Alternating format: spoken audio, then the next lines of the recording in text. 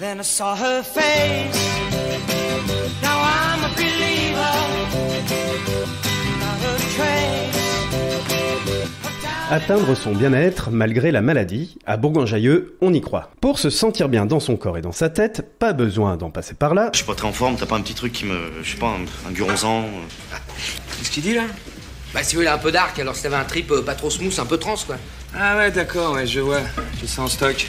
Puisqu'il existe des séances d'activité physique adaptées mises en place par certaines associations. C'est le cas de l'antenne bergalienne du comité de l'Isère de la Ligue contre le cancer et de sa responsable Marie-Noël Verrier. Pour moi, l'activité physique adaptée, je connaissais, je savais que ça existait, que d'autres comités l'avaient mis sur place.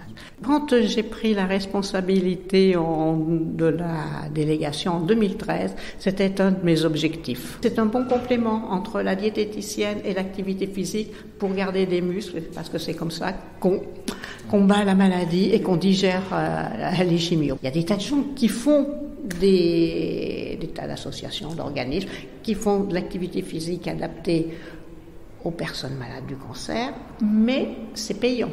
Alors que nous, c'est entièrement pris en charge. Tous nos soins de support sont gratuits. Mais aussi du tennis club de Bourgoin-Jallieu ou TTBJ et de son éducateur sportif Frédéric Bourlard en lien avec l'antenne Nord-Isère de France Parkinson.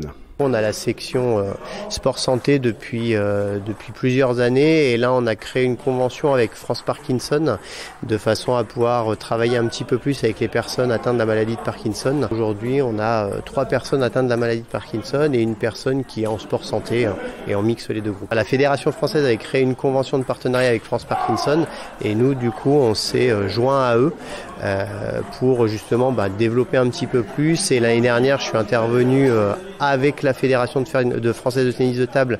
J'ai été euh, faire une présentation des bienfaits du tennis de table à Paris, euh, qui a été euh, filmé, rediffusé sur YouTube, etc. Donc ça a permis de faire la promotion et de se faire nous aussi connaître.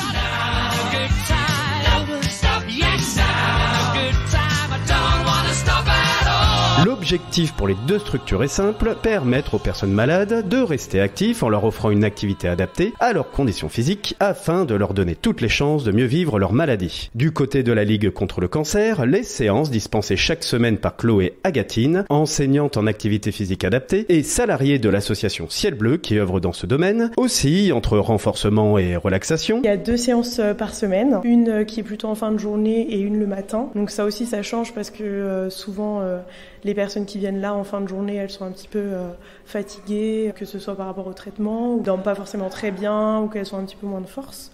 Donc du coup le jeudi là c'est plus euh, du renforcement, euh, des, choses qui vont vraiment muscler le corps. Et le lundi, comme c'est en fin de journée, on fait aussi un peu de relaxation, on fait des choses un petit peu plus ludiques.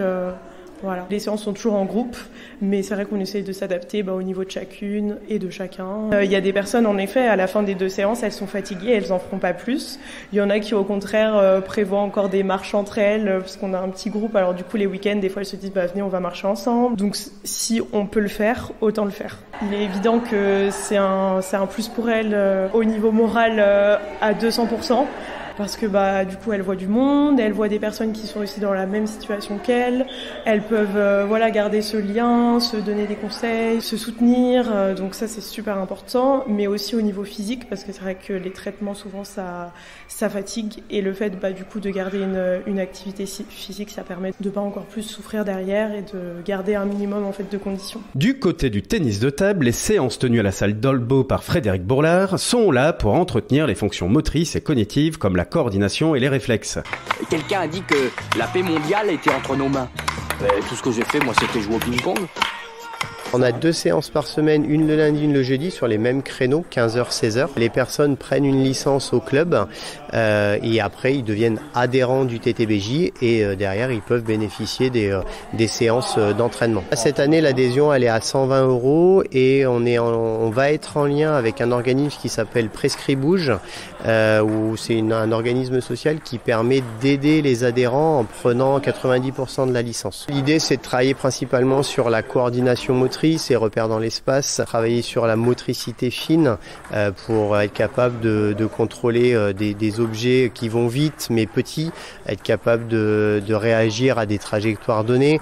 Euh, L'idée c'est de faire des liens avec ce qu'ils peuvent avoir dans la vie de tous les jours. Donc sur du travail de prise d'information par exemple pour traverser la route, être capable de se focaliser sur ce qui se passe autour d'eux et pas marcher juste avec la tête en bas par exemple. Il y a des études qui ont été montrées que le tennis de table avait des bienfaits réels sur les personnes atteintes de la maladie de Parkinson. L'idée c'est pas de soigner mais c'est d'avoir un mieux-être au quotidien. Des bienfaits bien évidemment plébiscités par les participants, tels que Josiane, Amina et Roger Deluermoz, responsables de l'antenne Nord-Isère France Parkinson à l'origine du partenariat avec le TTBJ. J'ai la maladie de Parkinson et c'est vrai que j'ai besoin de bouger, euh, enfin bouger, bouger les membres, faire bouger les membres surtout, hein, les bras, les, euh, les jambes. Et c'est vrai que euh, par, le tennis de table, euh, c'est une bonne rééducation. Déjà dans ma tête, oui, de me voir bouger parce que sinon euh, ben, je reste sur place. Je viens pour la motricité fine au niveau de l'appréhension.